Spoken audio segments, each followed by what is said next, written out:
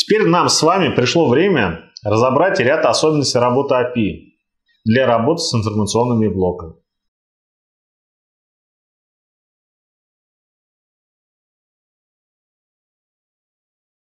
Все API информационных блоков хорошо описано в документации.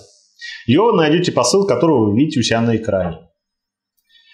Пожалуй, это наиболее глубоко и детальнее всего описано раздел справки по 1С Bittrex.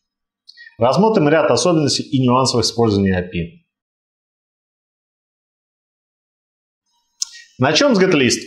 Первое. Поля, перечисленные до сортировки, будут автоматически добавлены в параметр rSelectField или rGroupBy, если указана группировка записи. Вот мы с вами видим, что у нас, э, соответственно, в выборку добавляются ID, имя и дата начала активности. А вот мы с вами видим, что у нас, собственно, сортировка идет по полю сортировки. А, как мы видим, здесь данное поле у нас в выборку не должно попадать. А, посмотрим, что же у нас э, в результате получается. И видим, что кроме ID, имени и дата начала активности у нас появилась сортировка.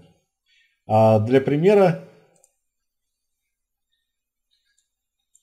давайте уберем вообще сортировку, сохраним, обновляем страницу. Видите, она пропала. При фильтрации по стандартным полям начало активности, окончание активности, дата изменения, дата создания. Фильтр, значение фильтра передается в формате сайта.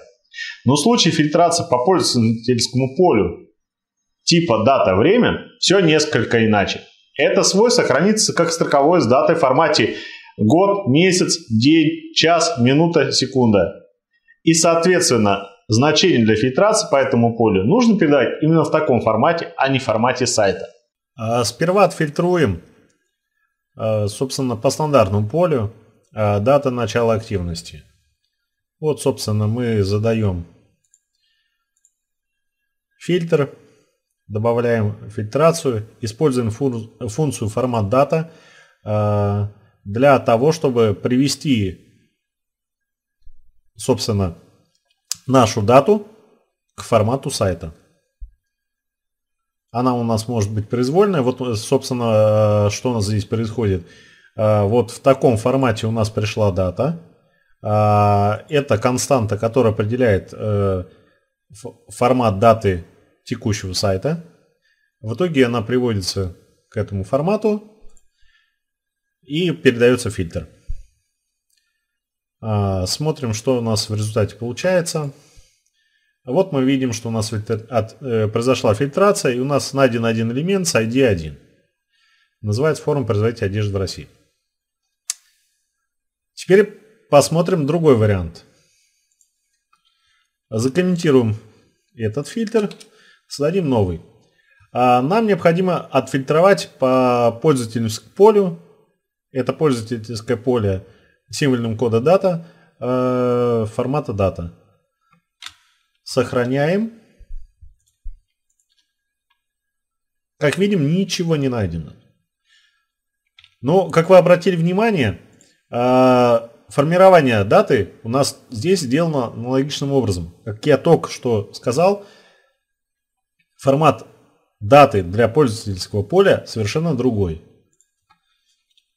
Вот у нас ниже указан правильный формат. То есть дата у нас приходит вот в этом формате, а нам необходимо преобразовать к вот этому формату. Сохраняем. Смотрим, что же у нас получилось. Да, мы нашли элемент, вот, собственно, само свойство, которое установлено. Э, фильтрация у нас прошла успешно.